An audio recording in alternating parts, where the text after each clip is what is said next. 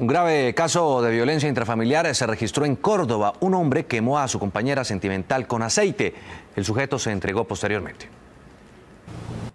Kelly Mesa Llane es la mujer que llegó con quemaduras en gran parte del cuerpo al Hospital San Diego de Cereté y de allí fue trasladada a una clínica de Montería. Fue atacada por su compañero sentimental con aceite hirviendo mientras dormía, dice la policía. La persona se encontraba eh, acostada y eh, fue esposo sin mediar palabras prácticamente rocea el aceite pues afectando a esta persona. Según familiares, la mujer era acosada constantemente por su compañero sentimental, razón por la cual lo había abandonado, pero hace un mes aceptó vivir nuevamente con él. Ah, él, es un acosador, le acosaba, le pegaba. Mm, hace un mes vino y le dijo que ya había cogido los caminos de Dios, que estaba asistiendo a la iglesia, que lo perdonara y pues lo último que pudo haber hecho ella fue volver otra vez con él.